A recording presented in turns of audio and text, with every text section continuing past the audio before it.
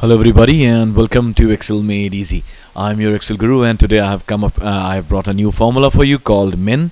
Uh, min min. Min does what it does is it finds out the lowest value or the smallest value in a given range. Alright so this formula starts with let's see how how to use it. Is equal to min min.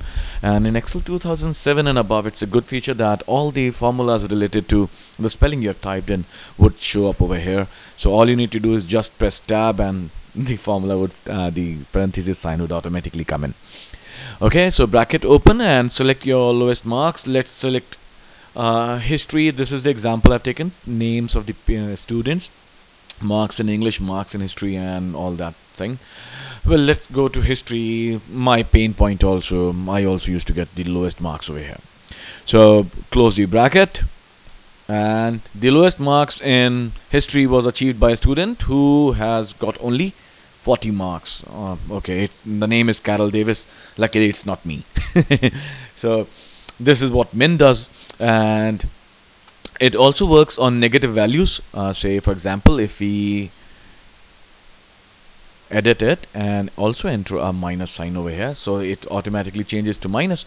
Now sometimes uh, while doing a formula you may require to have the lowest value which might be a minus figure but without the minus sign. That that is possibility. So you can club the min formula with abs how it would be done is equal to is equal to abs bracket open min bracket open your range bracket close bracket close again and answer.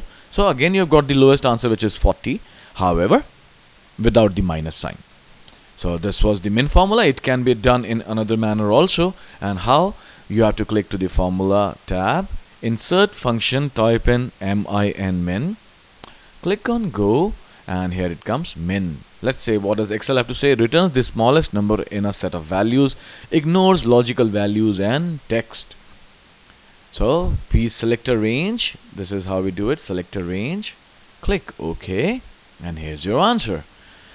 So the training file that you're looking at in this video is available for free download at my website excelmadeeasy.weebly.com and let's go to this website. Where is it here it is.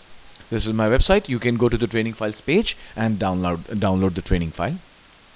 Uh, you can also watch my videos from here. These are my playlist for my fans in India Pakistan Bangladesh Nepal.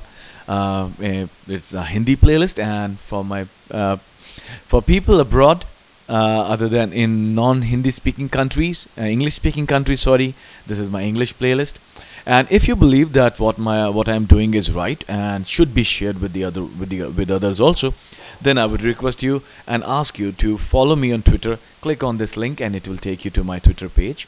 You can follow me over here. Once you start following me, you will be getting my tip of the day, which is every day I give a tip on Microsoft Excel. And also you will be able to recommend my work to other people and this that would be equivalent to sharing knowledge. You can also uh, log into my Facebook page from my, my website itself. By clicking over here it will take you to my Facebook page wherein you can like us over here.